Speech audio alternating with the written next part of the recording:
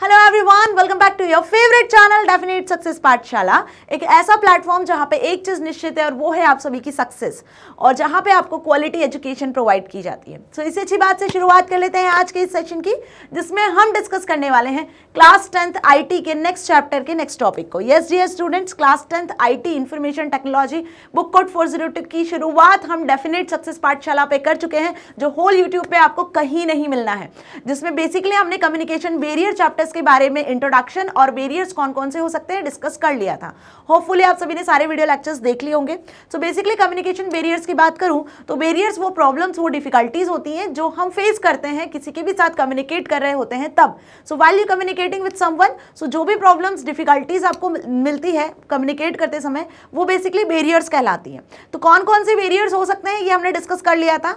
आज के इस सेशन में हम जिस टॉपिक पे डिस्कस करने वाले हैं, वो है measures to overcome the communication barriers मतलब कम्युनिकेशन के टाइम पर जो प्रॉब्लम्स जो डिफिकल्टीज जो बेरियर्स को आप फेस कर रहे होते हो, उसे कैसे ओवरकम किया जा सकता है? ताकि आपका कम्युनिकेशन इफ़ेक्टिव हो सके, एक साउंड कम्युनिकेशन आप बेसिकली किसी के भी साथ कर सकते हो। ठीक है? तो क्या प्रॉब्लम्स थी और उन्हें आप कैसे ओवरकम करना है? आज के सेशन में डिटेल में जानने वाले हैं। तो स्टार्ट से लेकर एंड तक पूरे सेशन में आपको बने रहना है और जिन भी स्टूडेंट्स ने अभी तक भी वीडियो लेक्चर्स नहीं देखे हैं तो लिंक डिस्क्रिप्शन में है, आप एक्सेस कर सकते हो। और जो स्टूडेंट्स आज पहली बार मेरे साथ इस सेशन में जुड़े हैं। So what is your waiting for go and subscribe the channel so that आने वाले वीडियो लेक्चर्स आपको मिल सके। एंड वेल डीपीपी हमने चैप्टर टू का सॉल्व कर लिया है। डीपीपी का लिंक भी आपको मिल जाएगा, जिसमें मैंने पूरा डीपीपी सॉल्यूशन आपको सॉल्व करवा दिया था। ओके चलिए तो स्टार्ट कर ले।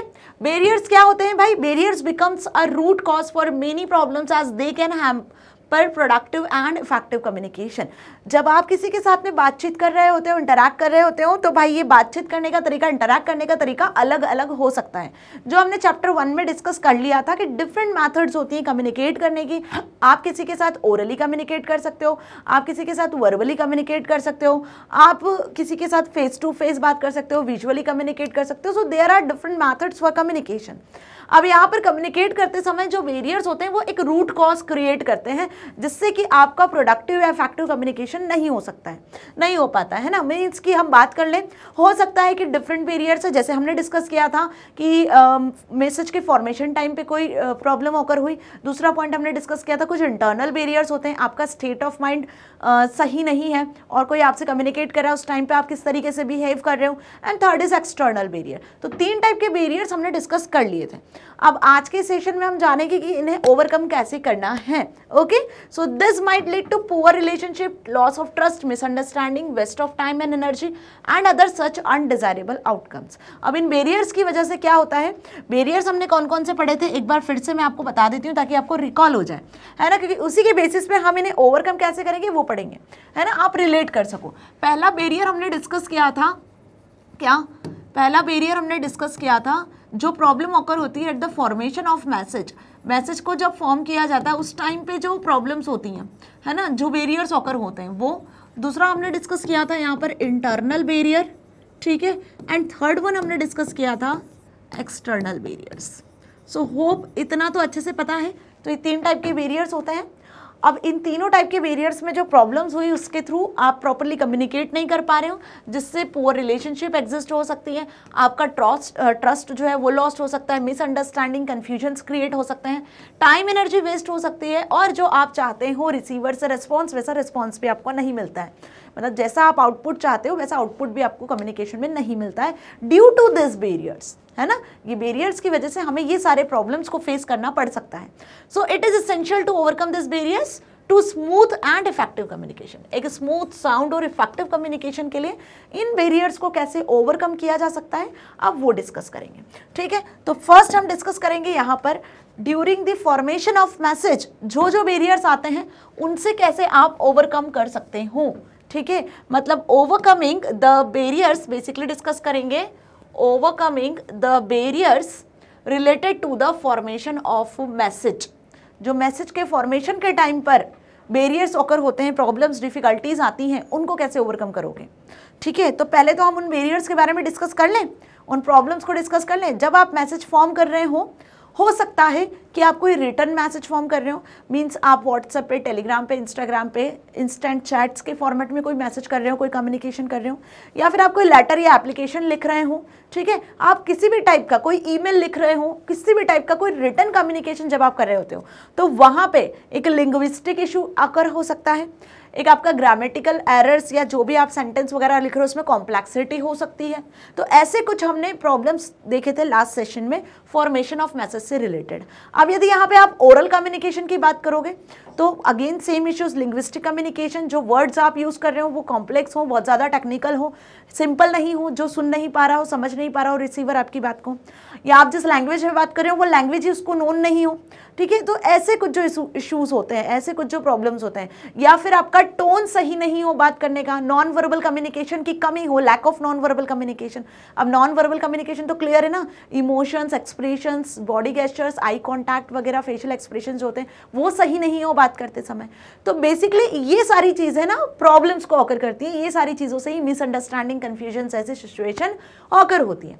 तो अब इससे बेसिकली हम कहते हैं फॉर्मेशन ऑफ़ मैसेज कि जब कोई सेंडर पर्सन कोई मैसेज को फॉर्म कर रहा है और उस टाइम पे प्रॉब्लम्स डिफिकल्टीज या बेरियर्स आते हैं तो उसे कैसे रिजॉल्व करना है? So to overcome the barriers formed due to problems with the formation of message one should ensure proper encoding of message देखो मैसेज फॉर्मेशन की स्टेप को हम क्या कहते हैं? कम्युनिकेशन साइकिल में डिटेल में पढ़ा था हमने कि फॉर्मेशन ऑफ़ मैसेज को हम एक प्रोसेस के नाम से जानते हैं, जिसका नाम होता है एनकोडिंग तो सेंडर जब भी कोई मैसेज फॉर्म करता है, किसी के साथ फेस टू फेस कम्युनिकेट करना चाहता है या किसी के साथ रिटर्न कम्युनिकेशन करना चाहता है तो बेसिकली वो क्या कर रहा होता है? सबसे पहले मैसेज को फॉर्म कर रहा होता है। तो मैसेज को फॉर्म करने की जो मैथड है, उसे हम कहते हैं एनकोडिंग तो प्रॉपर मैथड ऑफ़ एनकोडिंग यदि यूज़ कर रहे हो आप। मैसेज को सेंड करने के पहले। तो मीन्स हम क्या बोलेंगे कि यहाँ पे जो आपका कम्युनिकेशन होगा वो इफ़ेक्टिव होगा। So some of this include मतलब इसमें आप क्या इंक्लूड कर सकते हो? आप कैसे आपको प्रॉपर मैथड का यूज़ करना है? किस तरीके से आप प्रॉपर एनकोडिंग मैथड का यूज़ करोगे? तो उसके लिए ना सबसे पहली बात होगी यहाँ पर कि हम हमारे मैसेज को ना सिंपल रखेंगे।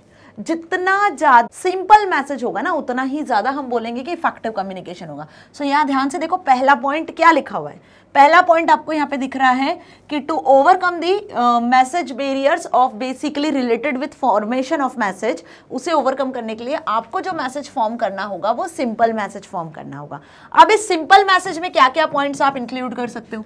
तो भाई सिंपल मैसेज में सबसे पहले तो कोई भी मैसेज आपका बेसिकली क्लियर होना चाहिए। ठीक है? क्लियर मतलब कि जो भी आप प्रोनाउंसिएशन यूज़ कर रहे हो या वॉट यू राइटिंग समथिंग और ओरली स्पीकिंग समथिंग तो वर्ड्स आपके क्लियर होना चाहिए सेंटेंस आपका सही होना चाहिए। कोई भी ग्रामेटिकल मिस्टेक वगैरह नहीं होना चाहिए तो क्लियर होना चाहिए। दूसरा पॉइंट हम यहाँ पे देखें तो प्रिसाइज वे में मतलब जितना ज़्यादा शॉर्ट आप मैसेज रखोगे उतना ज़्यादा ईजी होगा। लेंदी मैसेजेस आपको फॉर्म नहीं करना है। लेंदी मैसेजेस आपको फॉर्म नहीं करना है। तो ये बेसिकली हम बोलेंगे क्या होगा? ये बेसिकली सिंपल मैसेज की सिंपल मैसेज फॉर्मेशन की डेफिनेशन होगी कि क्लियर होना चाहिए आपका मैसेज uh, कंप्लीट होना चाहिए।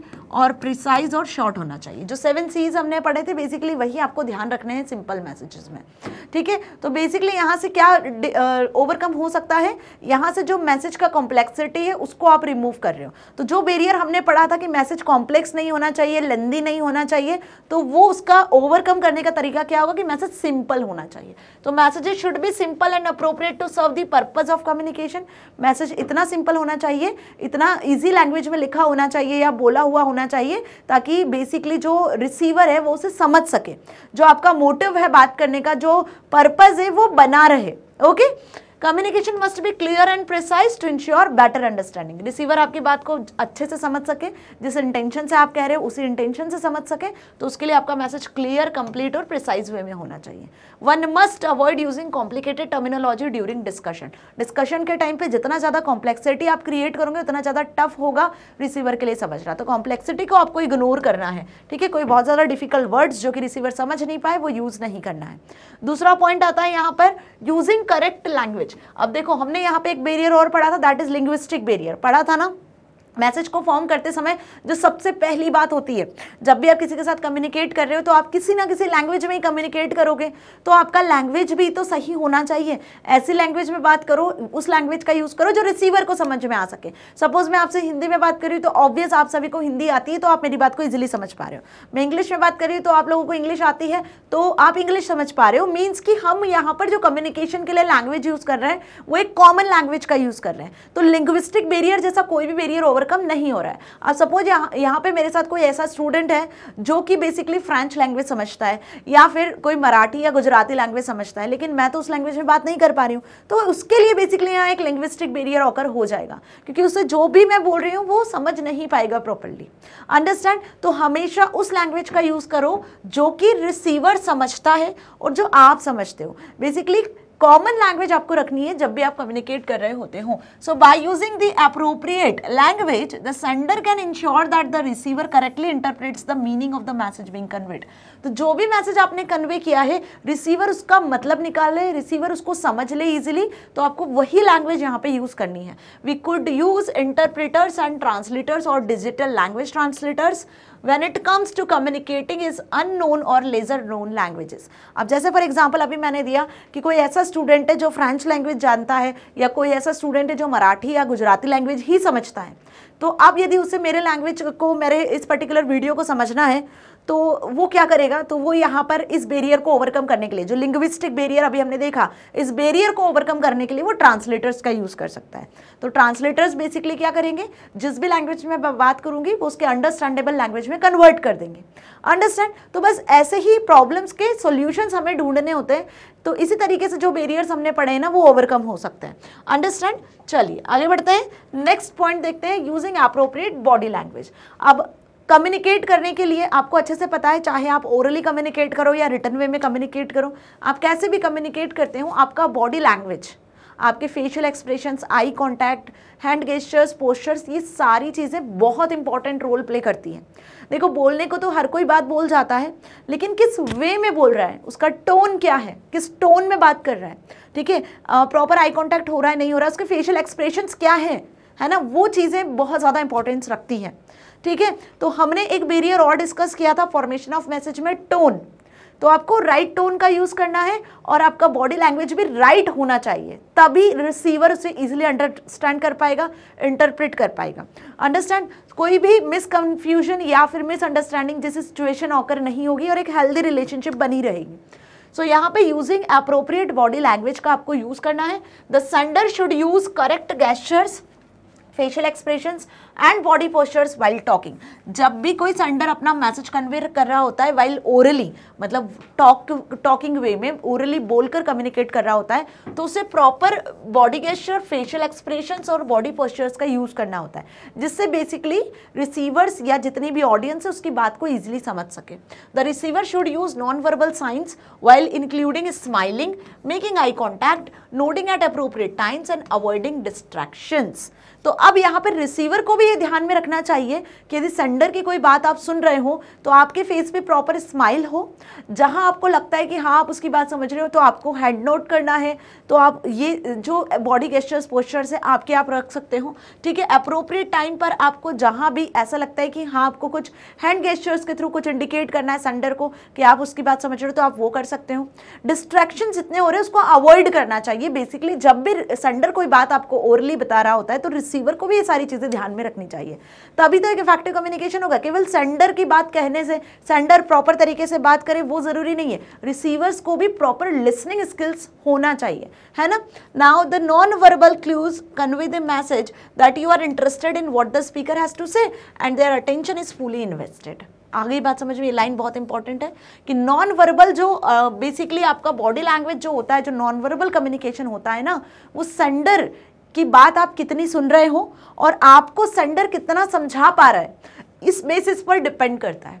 ठीक है? तो जितना वर्बल कम्युनिकेशन ज़रूरी होता है ना, उतना ही नॉन वर्बल कम्युनिकेशन भी ज़रूरी होता है बिकॉज़ वर्बल कम्युनिकेशन को इन्हांस जो कम्युनिकेशन करता है, वो नॉन वर्बल ही तो होता है। है ना? ये हमने पढ़ा है फ़र्स्ट चैप्टर में।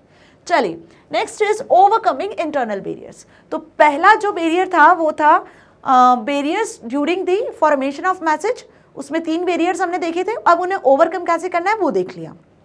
ठीक है?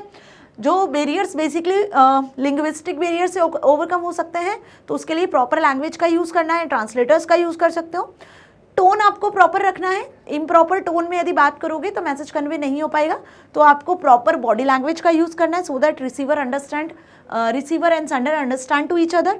तो ऐसे कुछ हमने बेरियर्स uh, को ओवरकम कैसे करना है? पॉइंट्स देख लिए। अब वैसे ही इंटरनल बेरियर्स के भी हमने कुछ पॉइंट्स डिस्कस किए थे। तो इंटरनल बेरियर्स में जो रिसीवर है उसका स्टेट ऑफ़ माइंड उसका स्टेट ऑफ़ बेसिकली हम बोल सकते हैं कि कॉन्सेंट्रेशन जो फोकस जो अटेंशन होता है वो यदि नहीं होता है तो यहाँ पे जो बेरियर ओवर ओकर होता है वो होता है इंटरनल बेरियर ऑब्वियस जैसे मैं आपको किसी चीज़ों को समझा रही हूँ तो आपका जो स्टेट ऑफ़ माइंड है, वो किसी मूवी में है। ये आपको पता है कि आज शाम को आपको बर्थडे पार्टी में जाना है तो आपको कौन सा ड्रेस पहनना है, आपको कैसे प्रिपरेशन करनी है? भले ही आप मेरे लेक्चर को अटेंड कर रहे हो, या आप कहीं स्कूल गए हो, वहाँ क्लास को अटेंड कर रहे हो, लेकिन आपका पूरा माइंड पूरा फोकस पूरा अटेंशन तो उस चीज़ पे है कि शाम को मुझे बर्थडे पार्टी में जाना है तो मुझे क्या ड्रेस पहनना है, क्या गिफ्ट खरीदना है, कैसे इंजॉय करना है, इस चीज़ों पर है। तो इंटरनल वेरियर कब ऑकर होता है कि जब आप कम्युनिकेट कर रहे हो और एट दैट टाइम आपका अटेंशन नहीं है, आप लिसन नहीं कर पा रहे हो, आप डिस्ट्रैक्ट हो रहे हो। तो आपका जो स्टेट ऑफ़ माइंड है, वो उस जगह पर प्रेजेंट नहीं है। जब आप कम्युनिकेट कर रहे हो, बल्कि कहीं और ही आप डिस्ट्रैक्ट हो रहे हो। तो बेसिकली इसे हम क्या कहते हैं? इंटरनल बेरियर जिसमें हमने डिफरेंट टाइप को डिस्कस किया था। हो सकता है आप बहुत ज़्यादा टायर्ड हो, बहुत थके हुए हो तो नहीं सुन पा रहे हो, बातचीत नहीं कर पा रहे हो प्रॉपरली आपका इंटरेस्ट डेवलप नहीं हो पा रहा है। तो ऐसे कुछ रीजंस हमने, ऐसे कुछ बेरियर्स हमने इंटरनल बेरियर्स लास्ट वीडियो में डिस्कस किए थे। अब इन्हें ओवरकम कैसे करोगे? So internal barriers cause during the one's state of mind and some inbuilt characteristics और पर्सनैलिटीज इसकी वजह से इंटरनल बेरियर्स ऑकर होते हैं। So one has to make a conscious effort to overcome them तो आपको क्या करना है? एक कॉन्शियस एफर्ट लगानी है इंटरनल बेरियर्स को ओवरकम करने के लिए।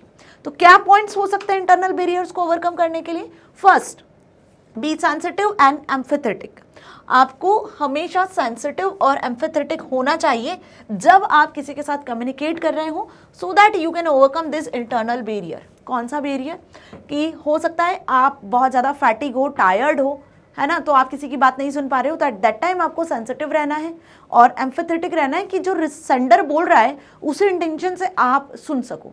आई बात समझ में? So the sender must make sure that the receiver is in the right frame of the mind sender तभी मैसेज को कन्वे करे जब उसे लगता है कि रिसीवर उसकी बात को सुनेगा, समझेगा, उसका माइंड का स्टेट सेट है।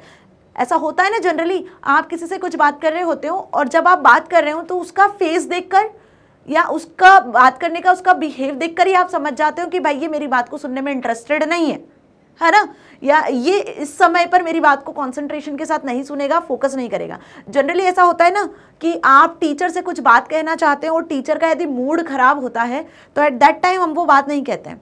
या आप प्रिंसिपल ऑफ़िस में जाते हैं और यदि प्रिंसिपल का मूड खराब होता है तो हम वो बात नहीं कह पाते हैं जो आपको कहना होती है। उस टाइम पर हो सकता है कि आप जो बात कहने जा रहे हो, उसका ऑपोजिट ही रिएक्शन हो जाए। तो ऐसी चीज़ें होती हैं। जब आपको अपने पेरेंट्स से कुछ बात मनवानी होती है, आपको कहीं पार्टी में जाना होता है या आपको कुछ नई चीज़ें चाहिए होती हैं तो आप भी अपने पेरेंट्स का मूड उनका स्टेट ऑफ़ माइंड देखते हो कि वो किस स्टेट ऑफ़ माइंड में है, उनका मूड कैसा है, तभी आप उनसे बात कहते हो वो, जो आपके फेवर में होती है। अदरवाइज़ आपको पता है कि ये बात गलत है, वो लोग नहीं मानेंगे तो आप बहुत ज़्यादा सोच समझ कर बात करते हो। तो यही स्टेट ऑफ़ माइंड होता है। तो हमको कोई भी बातें तभी करनी होती है जब रिसीवर सुनने के लिए रेडी हो, जब रिसीवर आपकी बात को अटेंशन के साथ में सुने ओके सो ये चीज़ आपको ध्यान रखनी है कि the sender must make sure that sender जो मैसेज कन्वे करना चाह रहा है, उसे ये श्योरिटी होनी चाहिए that receiver is in the right frame of the mind and be confident of having the attention and interest of the receiver okay तो बेसिकली ये हमारा पॉइंट था जो इंटरनल बेरियर को ओवरकम करेगा, जो फैटिक टार्टनेस की वजह से हो सकता है आप बातचीत को नहीं सुन पाते हो तो उसका एक ओवरकम पॉइंट था. Now develop good listening skills हर किसी पर्सन में ना जितना बोलने की इच्छा होती है ना आप, आप जितना कम्युनिकेट करना चाहते हो तो उतना सुनने की भी इच्छा आपके अंदर होनी चाहिए। मतलब कुछ लोग ऐसे होते हैं ना जो बोल देते हैं बस लेकिन जब उनकी बारी सुनने की आती है तो सुनना पसंद नहीं करते हैं। तो लिसनिंग स्किल्स भी होना ज़रूरी होता है। तो अपने अंदर आप कैसे गुड लिसनिंग स्किल्स को डेवलप कर सकते हो वो बेसिकली इंटरनल बेरियर को ओवरकम करता है। So giving proper attention without interrupting the sender and without making any distractions or essential listening skills that lead to effective communication effective communication के लिए सबसे ज़्यादा ज़रूरी होता है कि जितने भी डिस्ट्रैक्शन है, उन सारी चीज़ों को भूल कर उन्हें हटाकर आपके, आप एक गुड लिसनिंग वे में बातचीत कर सको। सामने वाला क्या बोल रहा है, उसको शांति से सुन सको। ठीक है? तो लिसनिंग स्किल्स भी होना ज़रूरी है। जितना ज़्यादा आपका कम्युनिकेशन स्किल अच्छा है, जितना ज़्यादा आपका टॉकिंग स्किल्स अच्छा है, उतना ही ज़्यादा अच्छा आपका स्पीकिंग स्किल्स के साथ साथ लिसनिंग स्किल्स भी होना चाहिए। So active listening skill is that can be acquired and developed with practice this skill can be difficult to master and command and therefore takes time and patience देखो कितना अच्छा line लिखा हुआ है कि एक्टिव लिसनिंग स्किल्स किसी को भी इजीली डेवलप नहीं होता है। मतलब किसी में भी यदि हम बात करें एक्टिव लिसनिंग स्किल्स की तो वो अपने आप डेवलप नहीं होता है। उसके लिए आपके पास टाइम चाहिए होता है और आपको प्रैक्टिस और साथ ही आपके अंदर क्या होना चाहिए? पेशेंस होना चाहिए। तो जब आपके पास टाइम और पेशेंस है तो ऑब्वियस आपके अंदर लिसनिंग स्किल्स डेवलप होगा। जैसे फॉर एग्ज़ाम्पल कि मेरी जो सेशन चल रहा है, मेरा जो वीडियो चल रहा है, हो सकता है कि कुछ स्टूडेंट्स ऐसे हैं जिनके पास प्रॉपर टाइम है, जिनके पास पेशेंस है, जिन्हें ये चैप्टर अच्छे से समझना है, जिन्हें ये टॉपिक अच्छे से समझना है तो वो पेशेंस फुली अटेंशन के साथ में होल वीडियो को देखेंगे। ओके okay, लेकिन कुछ ऐसे स्टूडेंट्स भी होंगे जिनके पास टाइम नहीं है वो किसी और काम में व्यस्त हैं किसी और काम में बिज़ी हैं तो वो हो सकता है कि बाद में इस वीडियो को देखेंगे या फिर एग्ज़ाम टाइम पे देखेंगे। तो ये सिचुएशंस होती है कि आपका लिसनिंग स्किल्स कैसा है आपके पास टाइम है पेशेंस है यदि आपके पास प्रैक्टिस है बातों को सुनने की आप किसी की बात को सुन सकते हो patiencefully then your listening skills will be good okay so it means fully concentrating on what is being said rather than just hearing अब यहाँ पे एक और लाइन है कि आपसे कोई भी बात कोई बोलता है तो आप सिर्फ़ उसको सुन रहे हो एक अलग चीज़ होती है लेकिन आप कॉन्सेंट्रेशन के साथ सुन रहे हो वो एक अलग चीज़ होती है।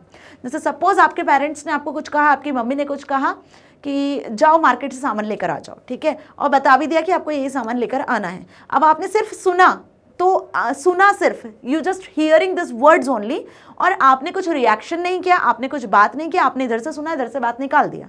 अब दूसरी बार फिर आपकी मम्मा ने आपको कहा तो आपको डांट कर कहा वो चीज़, है ना? तो आप कॉन्सेंट्रेशन के साथ सुनोगे कि क्या बोल रही है, वो क्या कमांड क्या ऑर्डर आपको दे रही है then only you will follow this okay तो एक सुनने में और एक ध्यान से कंसंट्रेशन के साथ सुनने में डिफरेंस होता है। जब आप फुली अटेंशन के साथ कंसंट्रेशन के साथ किसी भी बात को सुनते हो तो उसके अकॉर्डिंग आप वैसा रिएक्शन करते हो, उसके अकॉर्डिंग आप वैसा काम करते हो। तो लिसनिंग स्किल्स होना भी ज़रूरी होता है। Okay so it means fully concentrating on what is being said rather than just hearing the message of the speaker active listening involve listening with all senses कि आप हर तरीके से बात को सुन रहे हो। Okay okay? आई बात समझ में, जैसे आपको इस डायग्राम में दिख रहा है, वो होता नहीं था पहले। दादी नानी कहानियाँ सुनाती थी स्टूडेंट्स को तो बहुत ज़्यादा अच्छे से जो बच्चे होते थे, वो बेसिकली कहानियों को सुनते थे कि आखिरी में इस का कंक्लूजन क्या निकलने वाला है है ना? तो बेसिकली वहाँ पे आप देखोगे कि एक्टिव लिसनिंग होती थी। जितना ज़्यादा स्पीकर इंटरेस्ट के साथ बोलता है, उतना ही ज़्यादा जो लिसनर्स होते हैं, जो ऑडियंस होते हैं, वो इंटरेस्ट के साथ सुनते हैं। ओके नाउ डेवलप ट्रस्ट अब इंटरनल बेरियर में एक हमने ये भी देखा था कि मिसट्रस्ट क्रिएट हो सकता है मिसअंडरस्टैंडिंग कन्फ्यूज़न जैसे केसेस भी भी हो सकते हैं। यदि आप किसी की बात को ध्यान से नहीं सुनते हो कॉन्सेंट्रेशन नहीं रखते हो आप तो उस टाइम पे ट्रस्ट भी आ, खो सकते हो आप ठीक है? लैक ऑफ़ ट्रस्ट वाला भी प्रॉब्लम एक हमने देखा था एक बेरियर देखा था। तो उससे ओवरकम करने के लिए भी आपका यदि लिसनिंग स्किल अच्छा हुआ तो कहीं ना कहीं ट्रस्ट भी अपने आप ही डेवलप होगा। तो develop trust means mutual trust between the sender and the receiver helps in reducing perception errors. अब जो परसेप्शन से रिलेटेड एरर्स ओकर होती है ना जो परसेप्शन से रिलेटेड एरर ओकर होती है। परसेप्शन मीन्स व्हाट कि आपको uh, किसी चीज़ को देखने का सोचने का नज़रिया कुछ और होता है। आपके फ्रेंड का उसी चीज़ को देखने का सोचने का नज़रिया अलग होता है। तो दोनों के जब परसेप्शंस मैच नहीं करते हैं दोनों के सजेशंस दोनों के ओपिनियंस किसी चीज़ पर मैच नहीं करते हैं, तो वहाँ पर एक ट्रस्ट फैक्टर होता है जो कि डगमगाता है। तो यदि परसेप्शन जैसे जो फैक्टर्स है उसे आप बैलेंस करना चाहते हो परसेप्शन एरर एरर्स को रिड्यूस करना चाहते हो तो ट्रस्ट डेवलप होना चाहिए। ये हमने पढ़ा था। तो एक म्यूचुअल ट्रस्ट यदि बनता है सेंडर और रिसीवर के बीच में तो वो बनता है सिर्फ़ और सिर्फ़ उनका स्टेट ऑफ़ माइंड जब वो कम्युनिकेट कर रहे हो प्रॉपर रहे, ठीक है? जिस इंटेंशन से सेंडर बात कर रहा है, उसी इंटेंशन से रिसीवर यदि समझ रहा है, उसका लिसनिंग स्किल सही है स्पीकर का सेंडर का स्पीकिंग स्किल्स यदि सही है तो ऑब्वियसली जो परसेप्शन वाली एरर्स आती है, जो ट्रस्ट वाली एरर्स आती है, वो नहीं होती और एक हेल्थी रिलेशनशिप यहाँ पर एग्जिस्ट होता है। Okay okay? नाउ डिस्कस कर लेते हैं next point that is keep your emotions in check emotional barrier भी हमने इंटरनल बेरियर में डिस्कस किया था। है ना? हो सकता है कि आपके इमोशंस भी कभी कभी कम्युनिकेशन में प्रॉब्लम ओकर कर दे। ठीक है, आप बहुत ज़्यादा सैड हो, उस टाइम पे आपको कोई कुछ कहता है, आकर के ये काम कर दो, वो काम कर दो, या इधर जाना है, उधर जाना है whatever the work you have to given while you are not the state of mind while your emotions are not there so that's why आप क्या करोगे? आपको चिड़ोगे आप गुस्सा करोगे, कहीं ना कहीं आप प्रॉपरली उसके साथ कम्युनिकेट नहीं कर पाओगे, है ना? या फिर ऐसी भी चीज़ें होकर होती है कि आपके इमोशंस की वजह से आप किसी के साथ प्रॉपरली कम्युनिकेट नहीं करते हो, है ना? आप किसी चीज़ को लेकर बहुत ज़्यादा डर जाते हो तो आप बातचीत नहीं कर पाते हो कंटिन्यूशन में। सपोज़ आपको ऐसा लगता है कि मम्मा डांटेगी या पापा डांटेंगे आपको तो उस वजह से आप आगे बात नहीं करते हो। ठीक है आपसे कुछ गलती होती है तो आप गलती छुपाने की कोशिश करते हो। तो वहाँ भी आपके इमोशंस ही होते हैं जो आपको कम्युनिकेट करने से रोक रहे होते हैं। सो so, इसे यदि ओवरकम करना है तो आपको अपने इमोशंस पर काबू करना होगा। आप अपने इमोशंस को चेक करो time to time so that you can overcome this factor ना। So being in a balanced frame of mind यदि आपका माइंड स्टेट बैलेंस्ड है कम्युनिकेट करते समय so helps to create trust जिससे ट्रस्ट क्रिएट होगा यह भी हमने देखा। If a receiver response with criticism the sender should not over react और become defensive but instead consider the feedback as purposeful as possible मतलब हो सकता है बहुत से टाइम पर यदि रिसीवर का रेस्पॉन्ड क्रिटिसिज्म जैसा होता है मतलब हो सकता है कि किसी टाइम पर आपको रिसीवर से ऐसा रिस्पॉन्स मिले जो आप उम्मीद नहीं करते हो। मीन्स कि सपोज़ आपको मम्मा से कुछ बात कहनी है और मम्मा का मूड ठीक नहीं है। अब आपने वो बात कह दी सपोज़ आपको कहीं जाना है, या आपको कुछ चाहिए, आपको कुछ नया चीज़ परचेज करना है ठीक है? तो आपके फादर से यदि आपने बात कही या आपकी मदर से आपने बात कही और उनका मूड यदि ठीक नहीं होगा, उनका स्टेट ऑफ़ माइंड उस टाइम पर आपकी बात को नहीं समझेगा तो क्या होगा? आपको बदले में कैसा रिएक्शन मिलेगा? हो सकता है आपको डांट सुनने को मिल जाए। तो रिसीवर से जब आपको ऐसा कुछ रिप्लाई मिलता है जो आप नहीं चाहते हो तो उस टाइम पे आपको क्या करना चाहिए? The sender should not over react sender को ओवर रिएक्ट नहीं करना चाहिए, बल्कि defensive but instead consider the feedback as purposeful purposeful as possible मतलब आपको उस टाइम पे अपने जो भी पेरेंट्स हैं, उनकी सिचुएशन समझनी चाहिए। है ना, कि वो ऐसा क्यों बोल रहे हैं? हो सकता है कुछ ऐसी कंडीशन होगी, कुछ ऐसी बात होगी जिसकी वजह से वो आपको ऐसा रिएक्शन दे रहे हैं, इस तरीके से आंसर कर रहे हैं। तो जितना ज़्यादा आप पर्पस को समझ पाओगे, जितना ज़्यादा आप रिसीवर के स्टेट ऑफ़ माइंड को समझ पाओगे, उतना ज़्यादा इफ़ेक्टिव आपका कम्युनिकेशन होगा। तो कुल मिला के इमोशंस भी अपने आप में बहुत ही इंपॉर्टेंट रोल प्ले करते हैं। Okay now do not assume किसी भी चीज़ को लेकर पहले से अज्यूम मत करो। जब तक कि आप किसी चीज़ को आँखों से ना देखो, कानों से ना सुनो, तब तक अज्यूम मत करो। वो चीज़ कहते हैं ना, कोई किसी की कंप्लेंट कर रहा होता है तो भाई तुमने देखा था क्या उसने वो चीज़ किया? है ना? तो आप खुद से कैसे अज्यूम कर सकते हो? तो जब तक किसी चीज़ का कोई प्रूफ आपको ना मिले तो हमें अज्यूम करके नहीं जीना चाहिए। ओपन माइंडेड बनना चाहिए नैरो माइंडेड नहीं होना चाहिए। दुनिया उसी की है जो ओपन माइंडेड पर्सन है। Okay so assumption should not be held against a person who is communicating it is necessary to be open minded well communicating वही बातचीत करना है, वही सारे कम्युनिकेशन करना है, जो रियल हो, जो फैक्चुअल हो है ना? अज्यूम करके या बनी बनाई बातें आपको नहीं करनी होती है। अदरवाइज़ यहाँ पे फिर वही कि अज्यूम कर रहे हो तो कुछ चीज़ें उसके अकॉर्डिंग एक बेरियर ऑकर हो जाता है जो कि अगेन आपके साथ मिसअंडरस्टैंडिंग मिसट्रस्ट जैसे फैक्टर्स हो जाते हैं। Okay so assumption should not be held against a person who is communicating it is necessary to be open minded while communicating okay okay, चीज़ों को जितना ज़्यादा अच्छे वे में सोच सकते हो समझ सकते हो वो आपके लिए बेनिफिशियल होता है। Now be unbiased and fair किसी को भी लेकर अपने परसेप्शन या अपनी अंडरस्टैंडिंग मत बना लो। सबके साथ में एक जैसे रहो, कोई डिस्क्रिमिनेशन नहीं करना चाहिए। ऐसा नहीं कि ये मेरा बेस्ट फ्रेंड है तो बस इसी के साथ में मैं बातचीत करूँगा, इसी को अपने पास बिठाऊँगा, इसी से सारे काम करवाऊँगा। या फिर कि ये ही मेरी हेल्प करेगा, ठीक है?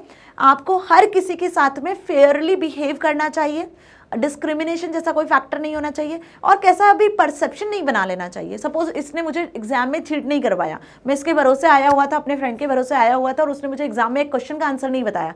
तो अब वो दुश्मन बन चुका है आपका। अब आप उससे कभी बात नहीं करोगे। है ना? ऐसे जो प्रिजुडाइज वाले जो तरीके होते हैं कि आपको यदि कोई पर्सन अच्छा नहीं लग रहा है है ना? तो आप उसके खिलाफ कुछ भी जम्पन्स बना लेते हो। तो दिस इज़ नॉट डन है ना you should be fair among all the person so do not hold prejudices और be judgmental about people when communicating okay सबको इक्वल रखने की कोशिश करो, तब आप खुश रह सकोगे। ठीक है, जितना इक्वल आप सबको ट्रीट करोगे, आप उतना खुश रहोगे और उतना आपका जो स्टेट ऑफ़ माइंड है ना, वो प्रॉपर रहेगा ओके? और सबके साथ प्रॉपरली कम्युनिकेट कर पाओगे। तो ये बेसिकली हमने क्या देखे थे सारे इंटरनल बेरियर जिसमें एक और बेरियर हमने डिस्कस किया था that is your cultural barrier cultural barrier भी कहीं ना कहीं इंटरनल बेरियर का ही एक पार्ट है। जो हमने डिस्कस किया था। डिफरेंट कल्चर है होल इंडिया की यदि मैं बात करूँ तो इंडिया कल्चरल से भरी हुई है। डिफरेंट कल्चर आपको देखने को मिलते हैं। है ना? तो अलग अलग इन्वायरमेंट में अलग अलग लोग रहते हैं, उनके अलग अलग कल्चर्स होते हैं। कुछ ऐसी फैमिलीज़ होती हैं जो बिज़नेस को ही बिलोंग करती है। मतलब उनका मेन एम उनका मेन एम्बिशन गोल यही है कि उनके जो प्रॉपर दादा और जो लोग थे, वो बिज़नेस ही करते आए हैं तो आने वाली जो उनकी पीढ़ी है, जो भी उनके जनरेशन है, वो भी उसी बिज़नेस को कंटिन्यू करेंगे आगे। तो ये उनका कल्चर उन्होंने बना लिया।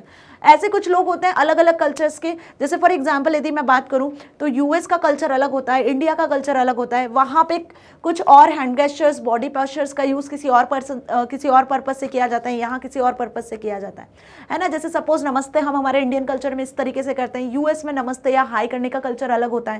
है ना? तो ऐसे डिफरेंट डिफरेंट कल्चर्स होते हैं जिससे स्टेट ऑफ़ माइंड अलग बन जाता है। ये भी कभी कभी बेरियर्स के लिए मतलब कम्युनिकेशन में एक बेरियर्स का काम करता है। तो आपको हर एक कल्चर को रेस्पेक्ट करना आना चाहिए so that this cultural barrier overcome so respect other cultures mean sensitivity and understanding should be developed towards other cultures specially while communicating in a different culture environment हो सकता है आपके स्कूल में different different culture के students आते हो। कोई Marathi student हो, कोई गुजराती स्टूडेंट हो, कोई मुस्लिम हो, कोई हिंदू हो, कोई क्रिश्चियन स्टूडेंट हो तो हमें क्या करना पड़ता है? स्कूल क्या सिखाता है आपको? आपकी क्लासरूम में आपको क्या टीचिंग की दी जाती है? कि जितने भी डिफरेंट कल्चर के लोग होते हैं, हमें एक दूसरे को रिस्पेक्ट करके चलना होता है। है ना? तो यदि आप रिस्पेक्ट करते हो तो एक कल्चरल बेरियर कभी आपकी लाइफ में नहीं आएगा और आप प्रॉपर वे में कम्युनिकेट कर पाओगे। अंडरस्टैंड दिस थिंग तो वही लाइन यहाँ पे लिखी हुई है while communicating in different cultural environment you should understand the sensitivity of cultural activities of different cultures okay चलिए now next is overcoming external barriers तो अभी हमने मैसेज फॉर्मेशन के टाइम पे क्या प्रॉब्लम्स होती हैं, उनको कैसे ओवरकम करना है, वो देख लिया। इंटरनल बेरियर्स को कैसे ओवरकम किया जा सकता है क्या क्या उसके मेन पॉइंट्स हो सकते हैं, वो भी देख लिया अब आ गए हम third type barrier that is external barrier पर। तो एक्सटर्नल बेरियर जो ह्यूमंस के इंटरनल इंटरनल बेरियर्स नहीं होते हैं, उनका स्टेट ऑफ़ माइंड से रिलेटेड नहीं होता है। वो एक्सटर्नल दुनिया से, बाहर के नेचर से इन्वायरमेंट से जो रिलेटेड बेरियर्स होते हैं, वो एक्सटर्नल बेरियर्स कहलाते हैं। जैसे कि बहुत ज़्यादा नॉइस प्रोड्यूस हो रहा है जब आप किसी से फ़ोन पर बात कर रहे हो। या फिर आप कुछ पढ़ाई कर रहे हो, आप कुछ इंपॉर्टेंट पॉइंट रीड कर रहे हो, उस टाइम पे बहुत ज़्यादा नॉइस क्रिएट हो रहा है। आप किसी वीडियो को सुन रहे हो और आपको एट दैट टाइम बहुत ज़्यादा नॉइस क्रिएट हो रहा है तो ये क्या हो रहा है? ये बेसिकली एक्सटर्नल बेरियर कहलाएगा। ठीक है? या आप कभी कुछ लेटर या एप्लीकेशन लिख रहे हो लिखते लिखते आपका पेन बंद हो जाता है या आपका इंक खत्म हो जाता है पेन में, या आपका पेन खराब ही हो जाता है तो आप क्या बोलोगे कि ये भी एक टाइप का एक्सटर्नल बेरियर है। टेलीफोन पे आप किसी से बात कर रहे हो, सिग्नल वीक हो जाते हैं या अचानक से नेटवर्क नहीं मिल रहा होता है तो this is called external barrier तो ये सारे बेरियर्स हम डिस्कस कर चुके हैं प्रीवियस वीडियो में। और आप देखेंगे कि इन्हें ओवरकम कैसे करना है। तो overcoming external barriers requires a change in the environment we are communicating in which includes the use of appropriate equipments और फैसिलिटीज़ तो ऑब्वियस जो आपको नेचर से इन्वायरमेंट से फैसिलिटीज़ मिल रही हैं, आप जब भी किसी के साथ कम्युनिकेट कर रहे होते हो तो उन फैसिलिटीज़ को ध्यान में रखो कि वो सही तरीके से यूज़ हो रही है कि नहीं। जो बेसिकली इक्विपमेंट आप यूज़ कर रहे हो, उनको केयरफुली यूज़ करो। तो जब भी कम्युनिकेट करो तो before this you can check this equipments and everything so that you can communicate easily ना? So first point is use proper communication channel obvious while you communicating with someone so आपको ध्यान रखना है कि आप proper communication channel का use करो। अब प्रॉपर कम्युनिकेशन चैनल मतलब कि आप टेलीफोन पे बात कर रहे हो तो आपका टेलीफोन प्रॉपरली वर्क कर रहा है, नहीं कर रहा है, ठीक है? या फिर आप कोई लेटर या एप्लीकेशन लिख रहे हो हैंड रिटन तो उस टाइम पे आपके पास में सही पेज है नहीं है पेज प्रॉपरली है नहीं है पेन में इंक है या नहीं है, आपका पेन डिवाइस जो है वो बेसिकली जिसका यूज़ आप कर रहे हो, वो प्रॉपरली वर्क कर रहा है, नहीं कर रहा है तो ये सारी चीज़ें आपको पहले से चेक कर लेनी होनी। चाहिए। So using proper infrastructure and equipment prevents noise and other distractions ठीक है? तो जो भी बेसिकली आप कम्युनिकेट कर रहे हो, जिन इक्विपमेंट का यूज़ कर रहे हो, जिनसे प्रॉब्लम्स अगर हो सकती है तो first you have to check this जिससे डिस्ट्रैक्शन ना हो सके और आपका प्रॉपर फोकस बन सके। Now for example ensure that you have a good pen while writing a message और telephone line so that you are using the in working condition वो टेलीफोन लाइन का यूज़ करें जो कि वर्किंग कंडीशन में हो, उस पैन का यूज़ करें जिसकी कंडीशन गुड हो, जिससे डिस्ट्रैक्शन ना हो सके और आपके कम्युनिकेशन में कोई प्रॉब्लम होकर ना हो. Next is find alternate means of communication to overcome psychological problems अब जो साइकोलॉजिकल प्रॉब्लम्स होती है ना, उसका अल्टरनेट भी लेकर चलो, उसका अल्टरनेट भी फाइंड करो. ऐसा बोलते हैं ना, आप अपने करियर में भी अल्टरनेट लेके चलते हो. सपोज़ आपको बहुत ज़्यादा इंटरेस्ट है साइंस सब्जेक्ट में, ठीक है? तो आप साइंस में ही आगे अपना पूरा करियर ग्रो करने वाले हो। आप इंजीनियरिंग कर सकते हो, ठीक है? लेकिन वहीं आपको स्पोर्ट्स में भी बहुत इंटरेस्ट है। तो आप क्या करोगे? आप एक ऑल्टरनेटिव लेके चलोगे कि साइंस में यदि आप अपना करियर नहीं बना पाए तो आप स्पोर्ट्स में ज़रूर अपना करियर बनाओगे। तो ऐसे साइकोलॉजिकली जो हमारी थिंकिंग होती है है ना? तो बेसिकली हम क्या करते हैं कि हम हमारे साथ एक ऑल्टरनेटिव लेके चलते हैं कि अगर ये नहीं हुआ तो ये तो हो ही जाएगा। जैसे अभी मैं क्लास टेंथ की बात करूँ तो क्लास टेंथ में आपके पास बेस्ट फाइव का ऑप्शन है। हो सकता है आपका मैथ्स बहुत वीक है, हो सकता है आपका साइंस बहुत वीक है तो इन केस वैसे तो ऐसा ना हो तो बेस्ट है। इन केस यदि आपने मैथ्स में मार्क्स कम आते हैं तो आपके यदि आईटी में अच्छे मार्क्स आए तो वो मार्क्स आपके रिप्लेस हो जाएँगे। तो ये जो आईटी सब्जेक्ट एक ऑल्टरनेटिव है, जो आपको एडवांटेज प्रोवाइड कर रहा है। तो अपने आप में स्कोरिंग भी है स्कोपिंग भी है, दोनों चीज़ इसके साथ है। तो जितना बेनिफिशियल आपके लिए आई है, उतना ही बेनिफिशियल आपके अदर सब्जेक्ट्स भी है। बट आपको मेहनत करनी है तो हम एक ऑल्टरनेटिव फाइंड करके चलते हैं। तो यहाँ पे इस पर्टिकुलर जो प्रॉब्लम का ओवरकम दिया हुआ है ना सोल्यूशन दिया हुआ है, वो यही दिया हुआ है कि जो फ़िज़िकल डिसेबल पर्सन होते हैं should be taken into consideration and handle the sensitivity appropriate means of communication such as sign language written communication और hearing aid should be use in such situation मतलब फ़िज़िकल जो disable person होते हैं वो भी एक इन्वायरमेंटल फैक्टर में ही आता है। देखो, एक एक्सटर्नल फैक्टर ही हम इसे कह सकते हैं, जो कि बेसिकली कम्युनिकेट नहीं कर पाते जैसे कोई पर्सन बेसिकली सुन नहीं पा रहा है प्रॉपरली ठीक है? तो आप उससे यदि चिल्ला चिल्ला कर भी कोई बात बोलोगे, बहुत लाउड वॉइस में भी बात बोलोगे तो भी यदि वो नहीं सुन पाया तो आपका कम्युनिकेशन वहाँ पे क्या होगा? बेकार हो जाएगा। मीन्स आपका जो कम्युनिकेशन है वो इफ़ेक्टिव नहीं हो पाएगा। तो यहाँ पे उस फ़िज़िकल डिसेबल पर्सन को हेल्प कौन सी चीज़ करेगी? तो भाई आप उसको जो हियरिंग मशीन्स आती हैं, उसका यूज़ करवा सकते हो। है ना? तो बेसिकली यहाँ पे क्या है? वही ऑल्टरनेटिव है जिसके थ्रू वो सुन सकता है। जिसके थ्रू वो कम्युनिकेट कर सकता है। वैसे यदि हम ब्लाइंड पर्सन की बात करें, जो देख नहीं सकते हैं तो यदि वो पढ़ाई सीखना चाहते हैं, वो एजुकेशन सीखना चाहते हैं तो वो ब्रेल लिपि का यूज़ करते हैं, है ना? उनको इस तरीके से साइन लैंग्वेजेस के फॉर्मेट में या उनको ब्रेल लिपि के फॉर्मेट में चीज़ें समझाई और सिखाई जाती हैं। तो ब्लाइंड पर्सन भी चीज़ों को समझ पा रहा है, सीख पा रहा है। ये ऑल्टरनेटिव उसके पास में है ओके okay? तो फ़िज़िकल डिसेबिलिटी की वजह से यदि कोई कम्युनिकेशन ब्रेक होता है, यदि कोई कम्युनिकेशन में प्रॉब्लम होकर होती है तो उसके भी सॉल्यूशंस है ऑल्टरनेटिव चीज़ें हैं जो आप यूज़ कर सकते हो, जिनसे ये सिचुएशंस ओवरकम की जा सकती हैं। तो कुल मिला के इस पर्टिकुलर पॉइंट में यही आपको लाइन्स ऐड करनी है। Clear now use emojis while texting जब भी आप टेक्स्ट मैसेज के थ्रू किसी के साथ कॉन्वर्सेशन करते हो तो आप इमोजिस का यूज़ कर सकते हो। अब इमोजिस कौन नहीं जानता है, सभी जानते हैं। हम सभी व्हाट्सएप इंस्टाग्राम फेसबुक जैसे इंस्टेंट मैसेजिंग चैट सॉफ्टवेयर का यूज़ करते हैं, जिनमें आपको कुछ बात को यदि लिखना नहीं है तो अदर देन टेक्सटिंग आप इमोजिस से उसको डिपेक्ट कर सकते हो। सपोज़ आपको कुछ कंग्रेचुलेशन लिखना है तो कंग्रेचुलेशन के आगे आपको स्माइल सेंड करनी है तो आप स्माइल वाली इमोजिस भेज देते हो। आपको किसी को डन लिखना है तो डी ओ एनी डन नहीं लिखना है तो आप हैंड थम्स अप भेज देते हो कि भाई ये चीज़ पक्की है, ये डन है। तो ऐसे कुछ इमोजीज होते हैं जो हेल्प करते हैं इन एक्सटर्नल बेरियर्स को ओवरकम करने में। So use of emotions to express feelings during messaging help to overcome some of the limitations of texting texting की जो लिमिटेशन थी, पहले यदि बात करूँ मैं जब आपके मोबाइल फ़ोन में सिर्फ़ एसएमएस ही किया करते थे आप, है ना? इमोजीज वगैरह डेवलप नहीं हुए थे तो वहाँ पे हम इमोशंस को नहीं भेज सकते थे टेक्स्ट वे में। तो अब इस ओवर इस प्रॉब्लम को भी ओवरकम कर दिया। ढेरों इमेज इमोजेस जीफ्स मिल जाते हैं आपको, है ना? जो आप बेसिकली टेक्स्ट की प्लेस पर इसे यूज़ कर सकते हो, है ना? So seeking feedback is another point one common and effective way to overcome all the different type of communication barrier is seeking feedback from the receiver देखो ये सबसे ज़्यादा इंपॉर्टेंट पॉइंट है कि यदि आप किसी का फीडबैक ध्यान से नहीं देख रहे हो ध्यान से नहीं समझ रहे हो तो बेसिकली कहीं ना कहीं कम्युनिकेशन ब्रेक तो वहीं हो जाता है ये जो कम्युनिकेशन बेरियर ओकर हुए हैं तो वो कम्युनिकेशन बेरियर फीडबैक की वजह से भी तो होते हैं। यदि फीडबैक ही आपने नहीं देखा रेस्पॉन्स को ही आपने ध्यान से नहीं समझा तो आधे से ज़्यादा जो प्रॉब्लम्स है वहीं ऑकर होती हैं। तो फीडबैक तो अपने आप में इंपॉर्टेंट होता ही है इफ़ेक्टिव कम्युनिकेशन के लिए। So one common and effective way of overcome all the different type of communication barrier is seeking feedback from the receiver. A skilled communicator must be aware of communication barrier and try to reduce their impact by continually checking the perception of message sent and by encouraging the receivers to give appropriate feedback to ensure that message was delivered as intended. तो वही बात यहाँ पे आ गई कि यदि effective communication आप चाहते हो तो आपको सेंडर का स्टेट ऑफ़ माइंड समझना है, आपको रिसीवर को भी समझना है यदि सेंडर रिसीवर एक दूसरे के स्टेट ऑफ़ माइंड को समझते हैं, वो जो भी सेंडर बात कह रहा है रिसीवर उसे समझ रहा है प्रॉपरली उसे रेस्पॉन्स और फीडबैक सेंड कर रहा है तो ये जितने भी टाइप के प्रॉब्लम्स हमने देखे, जितने भी टाइप के बेरियर्स हमने देखे, वो ऑटोमेटिकली ओवरकम हो जाते हैं okay so most of the personal professional and social problems can be overcome by maintaining a clear appropriate and unambiguous communication. जितने भी सोशल या फिर प्रोफेशनल या पर्सनल जो प्रॉब्लम्स होते हैं बेसिकली कम्युनिकेट करते टाइम जो ओवरकम आते हैं, जो सिचुएशंस आप फेस करते हो, उन्हें ओवरकम किया जा सकता है जब आपका कम्युनिकेशन क्लियर हो कॉन्साइज हो कंप्लीट हो कर्टियस हो और साथ ही साथ अप्रोप्रिएट और अनएम्बिग्योस हो। अनएम्बिग्योस मतलब कोई भी चीज़ आप बार बार रिपीट मत करो लेंदी मैसेजेस फॉर्म मत करो।